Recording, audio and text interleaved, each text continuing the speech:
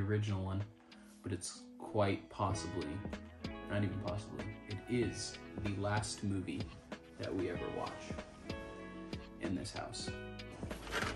Pouring in our macaroni and cheese. Well, this was 2011, 12 years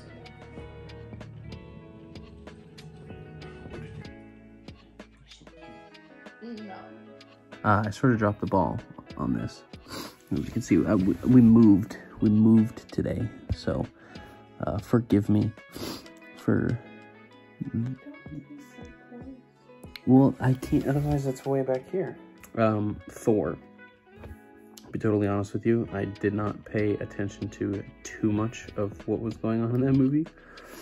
But I'll say this: that I think it's if, if we're just looking at it as a piece of the ongoing series, it was by far the most visually interesting. The cinematography was the was was creative and different, while the previous ones that I've watched were very basic. You know, not doing anything different other than that the comedy and just the bringing superheroes to the table in general.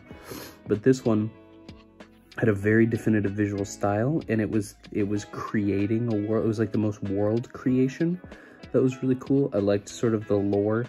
I get the sense that um i feel like that one is doing a lot of setup of the character sort of similar to how the first iron man was.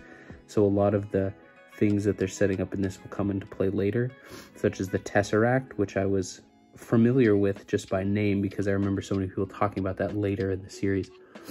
Um so yeah, uh, uh, and then it, I saw Love and Thunder, so it was cool to see the sort of backstory or the the the previous, yeah, I guess the the the prequel to um, him and Natalie Portman character, their like love relationship. So, um, anyways, I'm not watching one tonight because it's late and we just finished moving, but I'll be back on the train tomorrow.